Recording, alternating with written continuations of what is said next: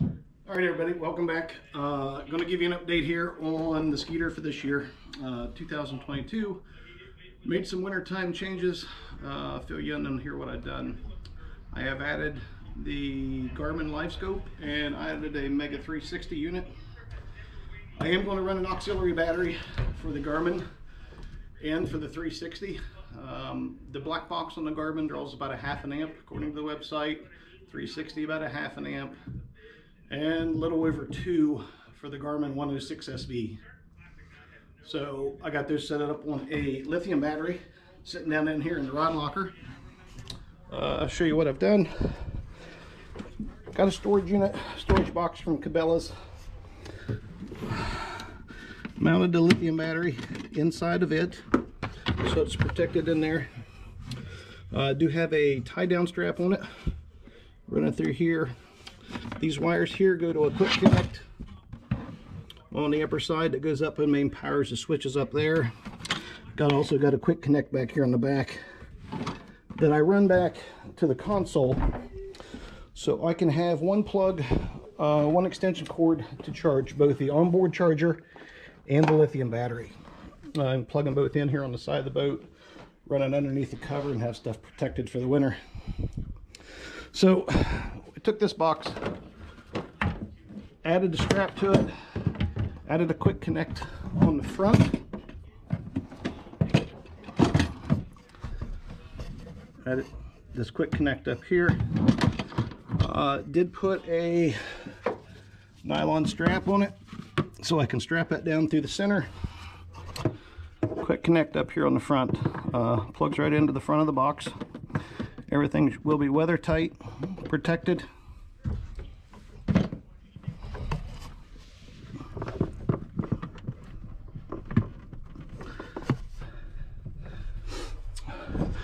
Run the wires up through the front, up through a grommet, mounted the black box up there in the front of the rod storage.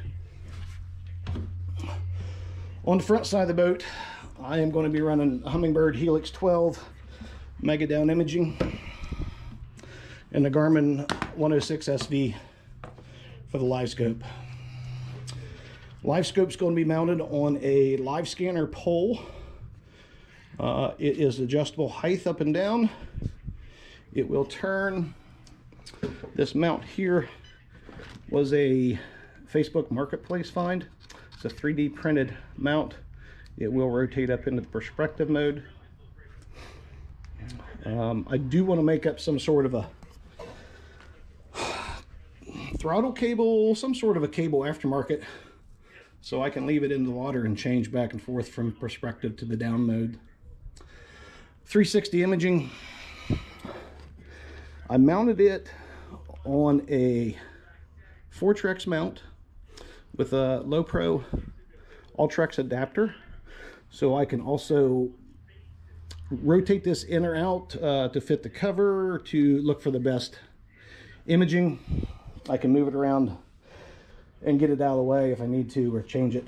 Um, once I get it all set up, get this thing on the water, I'll make a final adjustments to it and probably shorten up that shaft some.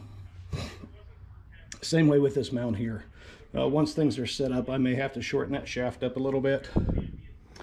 Mounted the Mega Down Imaging transducer for the Helix on the trolling motor. Do have the the UST, US2 sonar that's built into the Ultrex. I have it adapted up to run the Garmin 2D. So switch-wise,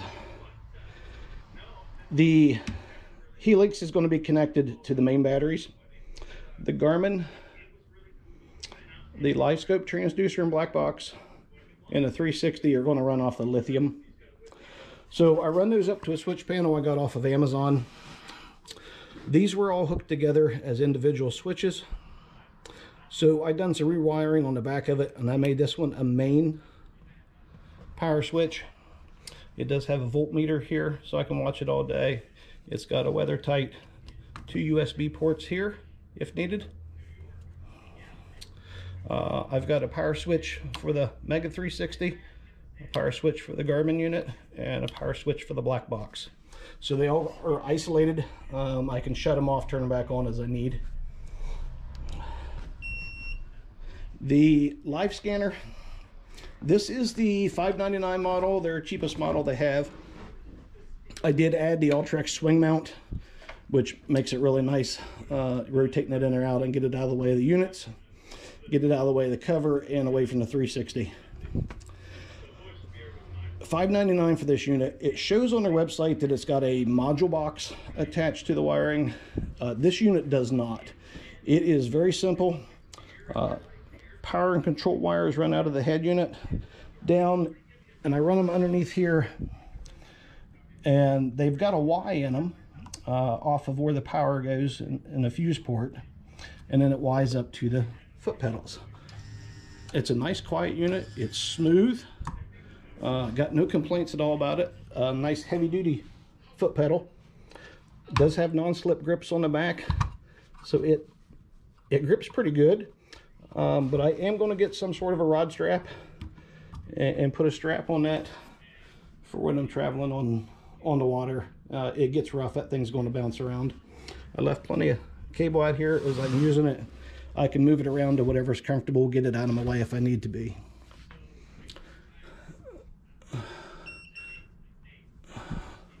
So that's pretty much going to be the setup for this year.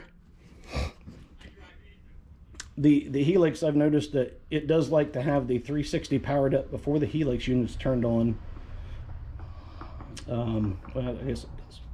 Recognizes out of water.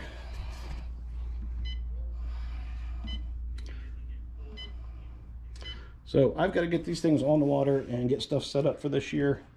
Uh, Ohio right now, we're calling for a big ice storm tonight. We've got ice on the water, 10 inches of snow on the ground. So it's going to be wow anywhere in Ohio here before we can get out. But that's how we're going to set it up for this year. Um, battery wise, I'm not exactly sure how long this battery is going to hold up. Uh, most of my tournament time is going to be about eight hours.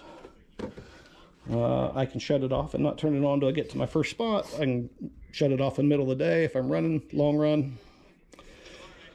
Uh, but it's set up there in the middle.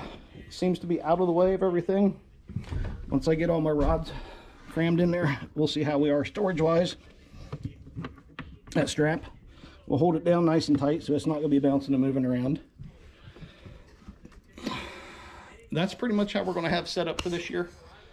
We'll see how long it lasts and see how it holds up. So we will go from there. Guys, uh, get online, check out BB Waterfowl. Check out what they're doing for waterfowl hunters. Go check out Blue Rock Tackle. Uh, look at what Jesse's got coming out for this year. He came out with a new jig last year, 1099 jig, that turned out to be phenomenal. It's a great seller. It's holding up good and getting great reviews. And if you're in the upstate New York area and you want a good place to stay, uh, look up Mils Cottages and Cabins. Alan up there uh, is a wonderful man. He will treat you right and you will not find a better host anywhere.